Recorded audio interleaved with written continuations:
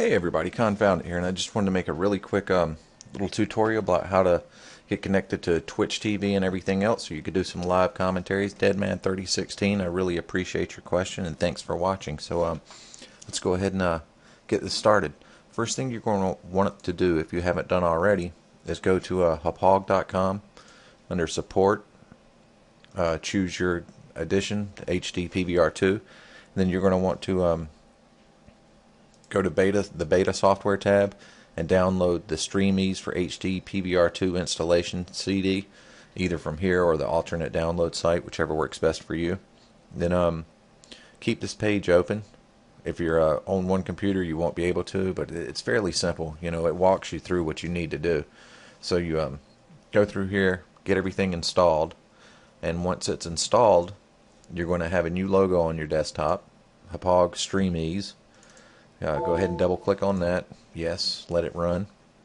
it's going to look for your device, the PVR2.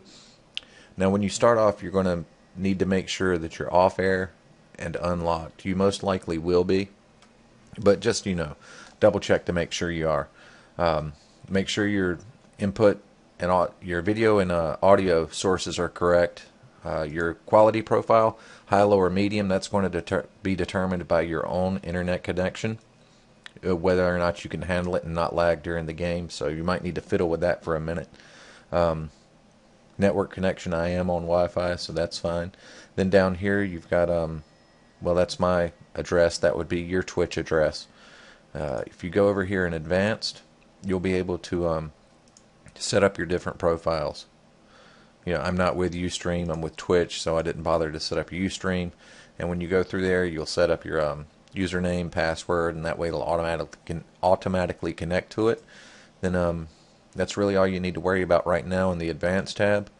So from there, we're good to go. It's showing my um, dashboard. So let me get back over here. And then in Twitch, I already uh, did a little test broadcast here. What you're going to want to do is go into your dashboard and let's title this um, Deadman 3016 tutorial. I really appreciate your comment, man, and uh, thanks for watching. And set the game to whatever it is that you're playing right here. Don't let fruit it. hang around. Yeah. Clean it up with uh, Orbit. Fabulous. Black Ops. For a good clean feeling. Drink chew orbit.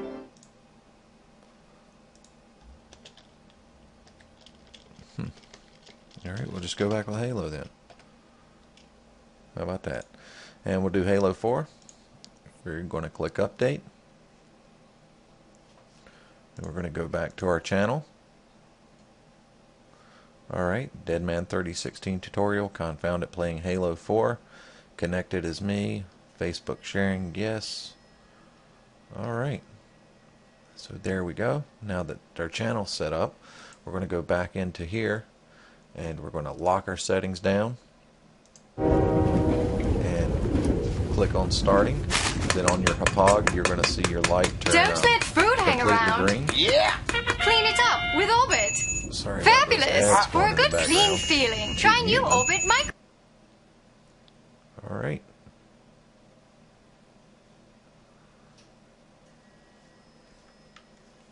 And here we are. There's a little bit of a 10 second delay, but it's actually kind of good for you.